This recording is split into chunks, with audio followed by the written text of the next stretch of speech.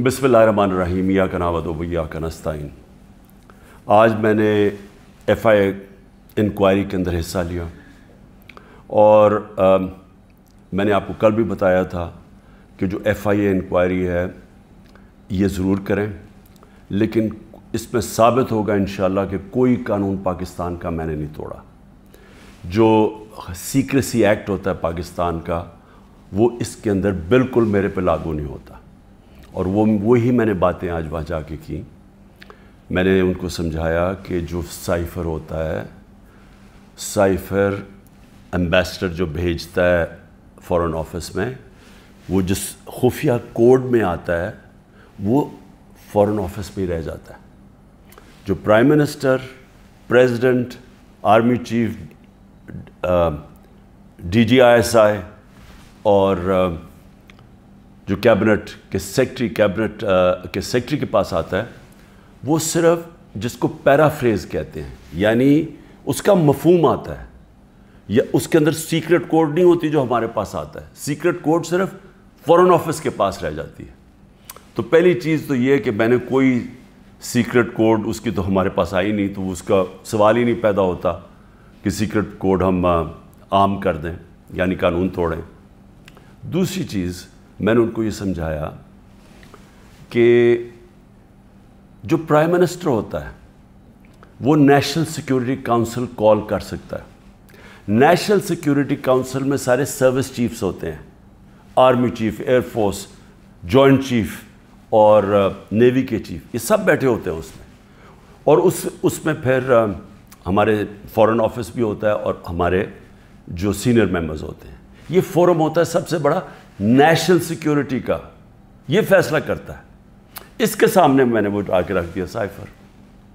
यानी उसका जो मफहम था। वो फैसला करता है कि अमेरिका को पाकिस्तान के मामलों में मुदाखलत करने के लिए हम प्रोटेस्ट करेंगे डिमाश देंगे। वो सबसे बड़ा फोरम फैसला करता है। तो जब उसने फैसला कर दिया डिमाश देने का तो ये भी आज किस चीज़ पर डिमाश देना था? क्योंकि उन्होंने धमकी दी पाकिस्तान के प्राइम मिनिस्टर को, एम्बेसडर को उसने धमकी दी डोनाल्ड डूर के, अगर इसको हटाओगे नहीं तो पाकिस्तान के लिए बड़ी मुश्किल होंगी। ये था उसका। उसमें और भी जिस तरह चीज़ें मैं बता चुका हूँ कि का इमरान खान खुद ही रूस चला गया था। ये कौन फ़ीड कर रहा था? ये सबको पता है कि जिस, जिसके लिए ये पैगाम आया था, वही फ़ीड कर रहा था अमेरिकन को कि इमरान अकेला अपने फैसला करके तो चला गया रूस। जिस तरह के बाकी कोई ना मैंने किसी और फॉरेन ऑफ़िस और किसी से मुशावरत नहीं की थी, जो जो एम्बेसडर अरसद मजीद कहते रहे कि ये गलत है, क्योंकि सबको पता था इस एक महीने पहले से पूरा प्लान बना हुआ था वहाँ जाने का रूस का। अब मैं जिस मामले पे आना चाहता हूँ और जो असल ब्रेकिंग न्यूज़ है वो ये है। ये बड़ा ज़रूरी है आपके लिए समझना, क्योंकि मेरा ईमान है, अल्लाह अलहक है जब मेरे ऊपर इन्होंने इतने ज़्यादा केसेस किए, मेरे जहन में भी नहीं आया इस मुल्क से बाहर जाने का। जिस तरह आपको पता है यहाँ जैसे ही इकतदार से उतरते हैं तो सीधी जाते हैं, जिधर इनके पैसे पड़े होते हैं, जिधर इनके बड़े बड़े महलात होते हैं, जिधर चोरी का पैसा वहाँ भेजते हैं, ये सारे बाहर भाग जाते हैं। नवाज़ शरीफ, जरदारी, ये सब उनके नीचे वज़ीर भी बाहर भाग जाते हैं जिन जिनको डर हो कि उन्होंने पैसा चोरी किया। लेकिन मैंने तब से कहा था कि मैं यहीं रह के सारे केस लड़ूँगा। और मेरे, क्योंकि मेरा अल्लाह में पूरा ईमान है। इज़्ज़त भी, वो देने वाला है ज़िल्लत भी उधर से ही आती है वो आती है इंसान के अमाल की वजह से। तो अगर मेरा ज़मीर कहता है कि मैंने कोई गलत नहीं किया तो मुझे, मेरा ये ईमान है कि ऊपर वाला मुझे ना कभी जलील होने देगा, ना कोई मुझे जलील कर सकेगा। और, सच वो है अल हक है और वो सच सामने आना है। अब ये ज़रा सच सामने क्या है? मुझे चेयरमैन नैब ने और जिसके ऊपर मैंने हरजाना किया हुआ है, उसने जो मेरे वारंट वाले और जिस तरह मुझे कमांडोज़ ने मुझे वहाँ से उठाया इस्लामाबाद हाई कोर्ट से, सारी दुनिया में बताया गया जिस तरह मुजरमों की तरह और डंडे मार के और मार धाड़ करके मुझे वहाँ से लेके गए तो सारी दुनिया में बताया गया कि इमरान खान को करप्शन में उठाया गया। याद रखें कि कि मुझे दुनिया जानती है क्रिकेट के ज़माने से। और क्रिकेट के ज़माने से जो दुनिया जानती है वो इमरान खान, जिसके ऊपर कभी दुनिया, लोगों के ऊपर मैच फिक्सिंग का आया इमरान खान के ऊपर कभी किसी ने मैच फिक्सिंग नहीं कहा। और इमरान खान को क्रिकेट की दुनिया जानती है जिसने 200 साल क्रिकेट तारीख की तारीख में न्यूट्रल अंपायर लेके आया कि वो अगर जीतना चाहता था तो ईमानदारी से जीतना चाहता था, अपने अंपायर साथ मिला के नहीं मैच जीतना चाहता था। और ये ये इस तरह मुझे जानती थी, इसलिए इज़्ज़त करते थे। अब आप ये देखें कि सारी दुनिया में गया कि इमरान खान करप्शन पे पकड़ा गया। अब दूसरी चीज़ ये देख लें कि पाकिस्तान की तारीख का सबसे ज़्यादा अगर इन पाकिस्तानी कौम ने किसी को अपने पैसे से ट्रस्ट किया है, जिसको इतमाद है कि वो पैसे उनकी चोरी नहीं करेगा, वो इमरान खान है। जितना पैसा मुझे दिया गया है, लोगों ने हस्पताल बनाने में हस्पताल चलाने में, दो, दूसरा अस्पताल, तीसरा अस्पताल, जो अब इंशाल्लाह कराची में बन रहा है, और फिर नमल यूनिवर्सिटी, और फिर ये अलकादर यूनिवर्सिटी ये सारा लोगों के पैसे पे क्योंकि लोग इतमाद करते हैं। और ये सारी मैं बन, बनाया उन लोगों के लिए ना जो वो कैंसर का इलाज करवा सकते हैं और ना वो आला तालीम ले सकते हैं यूनिवर्सिटीज़ में।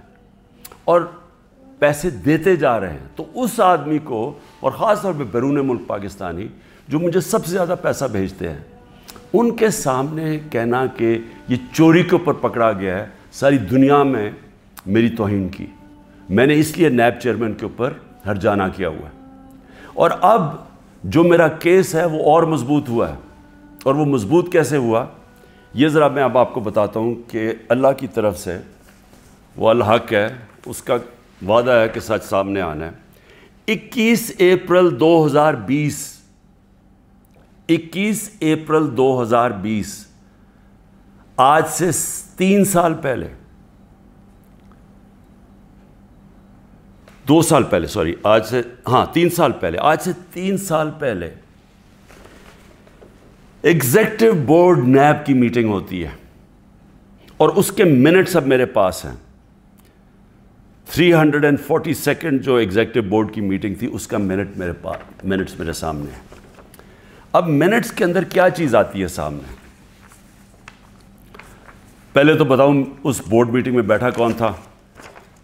Chairman NAB DG operations DG operations कौन था? ज़ाहिर शाह। ज़ाहिर शाह इस वक्त डिप्टी चेयरमैन नैब हैं। इस वक्त प्रोसिक्यूटर जनरल बैठे हुए थे। वो अभी भी प्रोसिक्यूटर जनरल है। और एक और डीजी एक और बैठे थे इरफान मंगी और, और एक और हुसैन उस वक्त के डिप्टी चेयरमैन बैठे हुए थे। ये हाई हाई पावर्ड मीटिंग के अंदर क्या फैसला होता है? ये फैसला होता है कि जनाब मलिक रियाज की और अली रियाज का वो केस था जो उनका बेटा मलिक रियाज का। उसके ऊपर फैसला किया जाता है कि ये जो हम इंक्वायरी कर रहे हैं और किस चीज़ पे इंक्वायरी कर रहे हैं तब? यही जो मलिक रियाज का जो डील हुई थी एनसीए के साथ, ये जो पैसा आया था, जो इन्होंने कहा कि मैंने क्योंकि अल कादर उसने मलिक रियाज ने स्पॉन्सर की थी, इसलिए मैंने उसको फ़ायदा करवाया था। अब ये सोच लें कि तीन साल पहले नैब के अंदर ये इंक्वायरी शुरू हुई। और इनको पता था, क्योंकि मैं आपको बता दूँ कि जो डिप्टी चेयरमैन वहाँ बैठे हुए थे मीटिंग पे प्रोसिक्यूटर बैठे हुए थे, इसका मतलब नैब चेयरमैन को पता था।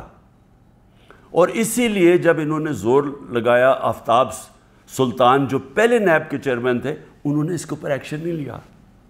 क्योंकि उन्हें पता था कि ये इंक्वायरी होके बंद हो चुकी है। और ये इंक्वायरी थी नैबकन डायरेक्टली इंग्लैंड के एनसीए से रबते में थे। और उन्होंने एनसीए ने जो उन, और उनके साथ जो सारी जो अंडरस्टैंडिंग हुई वो ये मिनट्स के अंदर है। इस पे क्या चीज़ कही गई है ये भी समझ। है इस मिनट्स पे ये लिखा जाता है कि ये अगर जो पैसा हमें सिर्फ़ एक चीज़, बाकी तो कैश उन्होंने कहा आ जाएगा। जो एक चीज़ है, वो वन हाइट पार्क जो मलिक रियाज, या अली रियाज ने ख़रीदा था, नवाज़ शरीफ के बेटे हसन शरीफ से 50 मिलियन पाउंड का, तकरीबन 18 अरब रुपया 18 अरब रुपए की प्रॉपर्टी खरीदी है नवाज़ शरीफ के बेटे से। और मैं फिर से कहता हूँ कि वो बाहर इसलिए भागा जब दोनों बेटे बाहर भागा कि जी हम तो पाकिस्तान के शहरी नहीं हैं। जब नैब ने उनसे यह सवाल पूछा दोनों बाहर भाग गए। और भी जो उनकी प्रॉपर्टीज़ हैं। कहते जी हम जवाबदेही नहीं हैं। और ये सुन लें कि वो सिर्फ़ इस इसमें ये मिनट्स में है कि न, न, जब अली रियाज वो प्रॉपर्टी बेचेगा जो इसने हसन शरीफ से ख़रीदी थी उसके बाद अगर तो वो पैसा ना आया तो फिर नैब भी एक्शन लेगी और फिर एनसीए भी इंग्लैंड एक्शन लेगी। अगर वो प्रॉपर्टी बेच देता है तो ये इंक्वायरी बंद हो गई। इंक्वायरी क्लोज हो गई थी। तो मैं नैब चेयरमैन से अब सवाल पूछता हूँ कि आपको इस चीज़ का पता होगा, क्योंकि ये चीज़ कोशिश की गई। ये जो चोरों का टोला ऊपर बैठा हुआ है कि किसी तरह इमरान खान को पकड़ लो। तो आफ्ताब सुल्तान तो नहीं माना होगा इस चीज़ पे, क्योंकि उसको पता होगा कि ये सारा ये फ्रॉड है, ये यानी ये केस मेरे ऊपर जो कर रहे हैं, इसकी बुनियादी कोई नहीं है। और ये आप सुन लें कि मुझे इस चीज़ का नहीं पता था। अब अगर ये कोई सोचेगा ना जी कि इमरान खान ने ये बंद करवाई है तो मुझे अगर पता होता तो मैं जब नैब की इंक्वायरी कर रहा था, मैं तो तब उनको बताता। मुझे तो आज ये मिली है चीज़। अगर मैं, अगर ये कह रहे हैं ना कि प्राइम मिनिस्टर ने बंद कराई है तो मैं, मुझे तो मैं तो पहले जाके नैब चेयर, जब इन्होंने तीन घंटे मुझे बिठाया नैब में, मेरे से इसके ऊपर इंक्वायरी की कि जी आपको पता था, आपने कुछ किया है, या आपने वो, यानी खराती यूनिवर्सिटी बनाने के लिए मैंने उसका फ़ायदा करवाया मलिक रियाज का। और ये भी पता था, जब ये एन से बात कर रही थी नैब तो उनको पता था कि सुप्रीम कोर्ट के अकाउंट में पैसा आना है। उनको ये भी पता, क्योंकि अरेंजमेंट ये थी। तो उनको तब भी पता था। यानी जब जब आज से तीन साल पहले इंक्वायरी थी तो ये नहीं था कि उनको नहीं पता सुप्रीम कोर्ट में पैसा आना है। यानी गवर्नमेंट ऑफ़ पाकिस्तान में जो अब आप कह रहे हैं। और सबसे बड़ी बात यह कि क्यों नहीं है गवर्नमेंट अगर अब तो पैसा पाकिस्तान आ गया हमारे सामने तो ये था कि जनाब, अगर आपने ये इनकी एग्रीमेंट जो एनसीए की और रियाज फैमिली की एग्रीमेंट थी, अगर आपने इसको ना माना तो फिर आपको केस करना पड़ेगा लंदन में कि क्या ये पैसा जो रुका हुआ है 190 मिलियन पाउंड ये वाकई मनी लॉन्ड्रिंग का है? ये आपको साबित करना पड़ेगा। उसमें पाँच छः साल लगने थे। तो अब तो पैसा आ चुका है पाकिस्तान में। तो मैं गवर्नमेंट से पूछता हूँ, क्या चीज़ आपको रोक रही है? आप केस कर दें। जाके कहें कि जी, अब तो पाकिस्तान, आप कहें जी, हम जाके साबित करेंगे मनी लॉन्ड्रिंग का पैसा है। क्यों नहीं साबित करते? आपने क्यों नहीं कोशिश की? हमारे दो, हमें बताया गया था कि अगर आप ये साबित ना कर सके, पाँच छः साल के बाद कि ये पैसा मनी लॉन्ड्रिंग का है तो ये पैसा वहीं इंग्लैंड रह जाएगा। इसलिए सारी कैबिनेट ने मान लिया कि हाँ जी, पैसा तो पाकिस्तान लेके आओ ना, और होगा तो सुप्रीम कोर्ट में।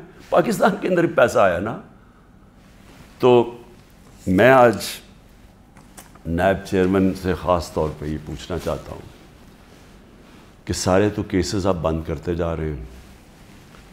शबाज शरीफ का और बेटों का सात मिलियन डॉलर का जो टीटी केस है, मनी लॉन्ड्रिंग का, ओपन एंड शर्ट केस, वो तो आपने बंद कर दिया। और आपको जो क्लो इंक्वायरी बंद हो चुकी थी, आपके साथ वो लोग बैठे हुए थे, बैठे हुए हैं इस वक्त। जिन्होंने जो वह उस मीटिंग में बैठे थे जब यह इंक्वायरी बंद हुई है। तो आपका ज़मीर को कोई तकलीफ़ नहीं हुई कि एक आदमी जो बेकसूर है, उसको आपने सारी दुनिया में जलील करवाया, झूठा केस बना के? जब आपको फैक्ट्स पता होने चाहिए थे, क्योंकि ये तो नैब के रिकॉर्ड में, ये मुझे किधर से मिला है? ये तो आपके रिकॉर्ड्स में था। तो इन अल्लाह हक है। इंसाफ का खुदा है, मालिक योम दीन है। ये केस तो मैं करूँगा पूरी तरह। और मैं ये भी आपको बता दूँ कि मैं आज अल्लाह का शुक्र अदा करता हूँ। सारी कौम को ये कहना चाहता हूँ कि साढ़े तीन साल मैं इकतदार में था। इनको कौन से दो केस मेरे ऊपर करप्शन के मिले हैं? एक मिला ये कि मैंने एक खैराती यूनिवर्सिटी बनाई, उसको फ़ायदा पहुँचा के। ये जो सारा केस आप आपके सामने रखा है। और दूसरा केस है तोशा खाना का। मैं ये चाहता हूँ कि, कि ये तोशा खाना का मैं आप सबके सामने कहता हूँ ये साबित होगा कि सारी चीज़ें मैंने कानून के बीच में की लेकिन मैं ये भी कहता हूँ कि अगर आपने तोशा खाना खोल ही दिया है तो सारों की अब चीज़ें निकालें जो लूट मार हुई है तोशा खाना में।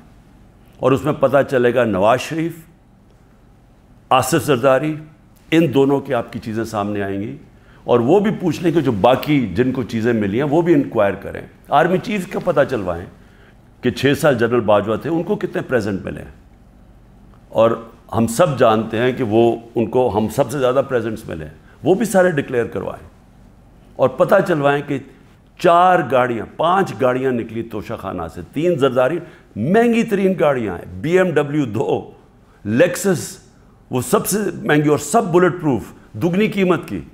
नवाज़ शरीफ मसेडीज़ महँगी तरीन गाड़ी साढ़े छः लाख में लेता है। पहले तो था ही गलत, साढ़े छः लाख में, बतालीस लाख सारा दिखाता है मसेडीज़ का। और उसके ऊपर कोई इंक्वायरी नहीं, और मरियम, उसको जब, उसको जो बी एम मिलती है, वो तोशा में नहीं, देती नहीं है। सीधी सीधी चोरी है। तो नायब चेयरमैन साहब को ये चीज़ें तो नहीं नज़र आ रही, क्योंकि मुझे लगता है आपको बुलाया भी हुआ है एक मकसद के लिए कि किस तरह पीटीआई को तोड़ना है। आपका मकसद करप्शन ख़त्म करना नहीं है, आपका मकसद ही कुछ और है। और मुझे ये भी अफसोस से कहना पड़ता है कि सारे इदारों को इस तरफ़ लगा दिया सारे इदारों को जान के लगाया हुआ है एक एक पार्टी को तोड़ने के लिए और इमरान खान को डिस्कालीफाई करने के लिए या जेल में डालने के लिए, वो नहीं जो उनका असल काम है। मुल्क में दहशत गर्दी बढ़ रही है। केपी के अंदर एक साल में 600 केस हो चुके हैं, साढ़े छः सौ छः सौ छत्तीस केस दहशत गर्दी के हो चुके हैं। एजेंसीज का क्या काम है? क्या उनका ये काम नहीं है कि ये प्रियम्प्ट करते हैं? उनका काम सिर्फ़ ये है कि जिधर जिधर तहरीक इंसाफ है उनको बस जेलों में डालो, उनको पकड़ो, उनको घर तोड़ो। पुलिस को इस्तेमाल कर रहे हैं घर तोड़ने के ऊपर। इनके घर तोड़ो, इनकी बिजनेसेस बंद करो। जिधर भी हैं कि किसी ना किसी तरह जो मुल्क की सबसे बड़ी जमात है, उसको ख़त्म किया जाए। मैं फिर से अल्लाह का शुक्र अदा करता हूँ। सच का खुदा है कि ये जो मिनट सामने आए हैं, ये अलकादर के ऊपर, ये जो अलकादर का केस सारा है मैं शुक्र अदा करता हूँ कि सारा, सारी कौम के सामने एक्सपोज हो गया, पाकिस्तान जिंदाबाद।